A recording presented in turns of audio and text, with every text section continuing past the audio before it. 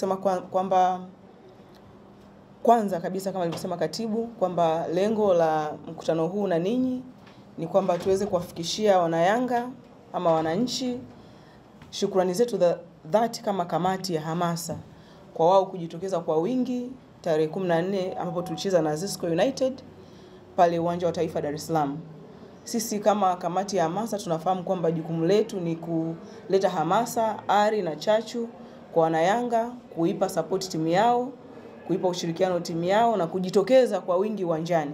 Na si tu kujitokeza kushangilia mwanzo mpaka mwisho, sababu tunaamini kwamba hiyo ni muhimu, kuipa kuwapa wachezaji moral wa kuweza kujua kwamba uh, mashabiki wao, wapenzi wao na wanachama wa klabu wako pamoja nao katika kutafuta ushindi, sababu mpira ni burudani na burudani ni ushindi, na ushindi mbali na kucheza uh, kwenye uwanja unatokana na ile hamasa na ushangiliaji wa kuipa moyo, moyo timu. Kwa hiyo tunawashukuru sana sana wanayanga, tunaomba kama kamati tuliwahamasisha nao wakaitikia wito. Kulikuwa na takriban uh, mashabiki karibu elfu arobaini uh, ambao walijitokeza siku ile kuishabikia timu.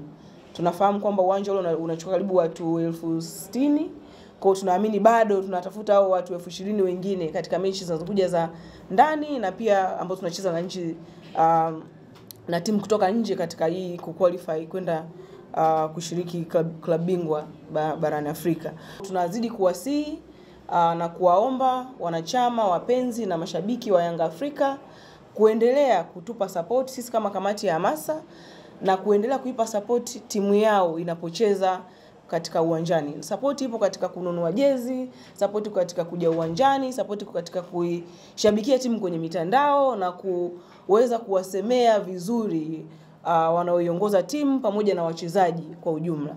Tunafahamu kwamba timu yetu bado mpya lakini tunaamini kwamba kikosi ni kizuri kama ambavyo tumeona mchezo uliopita. Tuna matumaini makubwa kwamba itaweza kuwapa wanayanga furaha katika mechi mbalimbali ambazo tunaendelea kuzishiriki. Nipende kusema kwamba kwa sasa kama club kama timu tunakabiliwa na mechi ya marudiano ambao utacheza na Zesco United kule Ndola, Zambia. Kwa hiyo timu iko kwenye maandalizi, uongozi uko kwenye maandalizi, na sisi kama kamati ya hamasa tuko kwenye maandalizi kuona kwamba tunakuwa sehemu ya kuletea uh, timu yetu ushindi inapocheza mechi ya marudiano na Zesco Ndola tarehe 28 mwezi huu wa tisa. Support kwa timu iko kwa namna mbili.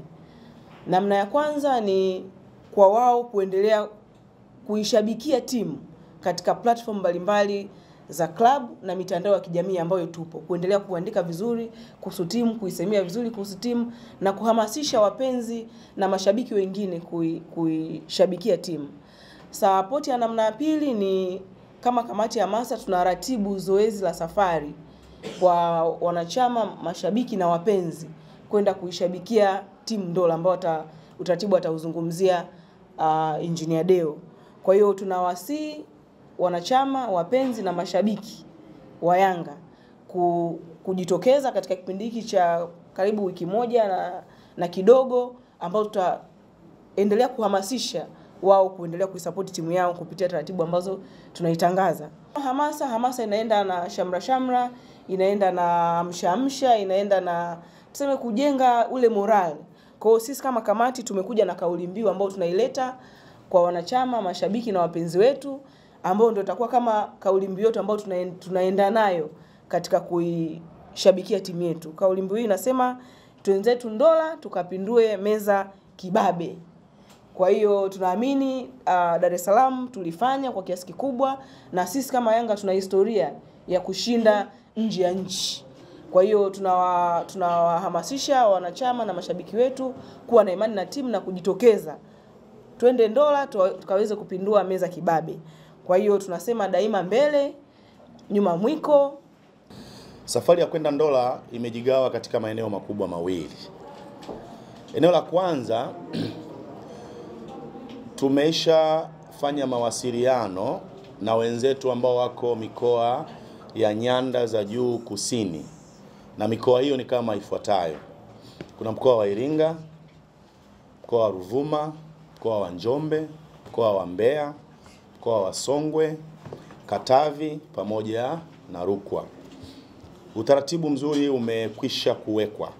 Kwa hiyo kwa wale ambao wanatokea katika mikoa hiyo, kwa sababu wao kidogo wako karibu zaidi e, na Zambia, nauli ya kawaida ya kutoka ya kutoka Tunduma kwenda Zambia ni shilingi elfu hamsini na sita.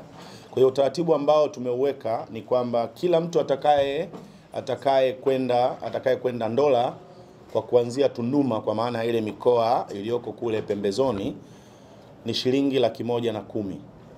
Utaratibu mzuri umeshaandaliwa na kule Mbeya, waratibu wa zoezi lile ni wenzetu wa mkoa wa Songwe ambao anayeongoza zoezi lile ni bwana Chris Kashiririka ambaye tayari amekwisha kuweka utaratibu na akisaidiana na mwenyekiti wa mkoa wa Mbeya bwana Chuma Mahinya. Utaratibu uliopo ni kwamba kwenye kila mkoa sasa, katika mikoa niliyoitaja, ni kwamba kila mkoa kuna coordinator ambaye ana coordinate na watu wa mkoa wake. Iringa e, yupo mtu anaitwa Gift Macha. E, Njombe kuna mtu anaitwa Mnyumbilwa. E, Songwe ndio kama hivyo nilivyosema, kuna huyo bwana Chris. E, na mkoa wa Ruvuma yuko mwanadada mahiri kidogo anaitwa Rosaria Mgwasa na Rukwa na Katavi wao wameunganisha nguvu kwa pamoja, kwa sababu unajua ule mkoa zamani ulikuwa ni mmoja. Kwa hiyo e, tume tumekubaliana na kwamba wao wanaiorganize kwa pamoja. Utaratibu ni kwamba watu wote kutoka kwenye hiyo mikoa, hususan hii mikoa ya Ruvuma, Iringa, Njombe na Mbeya, makutano ni pale Tunduma yaani watakuja kwa minzi zao huko, then safari itaanzia pale Tunduma tarehe 25 kwa ajili ya kuelekea uh, kwa ajili ya kuelekea Ndola. Na ilikuwa kuna maswali ambayo watu wanaweza wakawa wanajiuliza. Tumeandaa utaratibu mzuri tu, tumejaribu kuongea na wenzetu wa uhamiaji kupitia ofisi za wakuu wa wilaya kwenye hiyo mikoa husika. Kwa wale wenzetu ambao hawana pasi za kusafiria, pasi zitapatikana kwa shilingi elfu ishirini na sita mpaka 28. Inategemea, unaweza ukauliza kwa nini 26 na 28. Unajua kadi e, mwendo unavyozidi kuwa mrefu, kuna baadhi ya vitu ambavyo inatakiwa uwe navyo ili kuweza kupata hiyo pasi ya muda. Kwa hiyo tunawa, tunawa, tunawaomba wale wanachama na wapenzi wa klabu ya Yanga ambao wako mikoa hiyo na wangependa kwenda nasi kule kule kule kule Ndola basi e, utaratibu ni huo, na wanatakiwa tu kuwa na vile viambatishi au viambatanishi e, ambavyo vinakufanya wewe uweze kupata ile pasi ya muda ya kusafiria. E, eneo la pili ni kwa sasa ambao wanatoka nje ya ile mikoa ya nyanda za juu kusini, kwa maana ya Dar es Salaam na mikoa ambayo inaizunguka kwa maana ya Lindi, Mtwara, mkoa wa Pwani, Morogoro, Tanga na kadhalika. Utaratibu eh, ni kwamba kutoka Dar es Salaam gharama ya kusafiri itakuwa ni shilingi laki mbili kutoka Dar es Salaam. Hiyo ni go and return, na hata ile niliyoizungumzia ya kule ni go and return, yani kwenda na kurudi.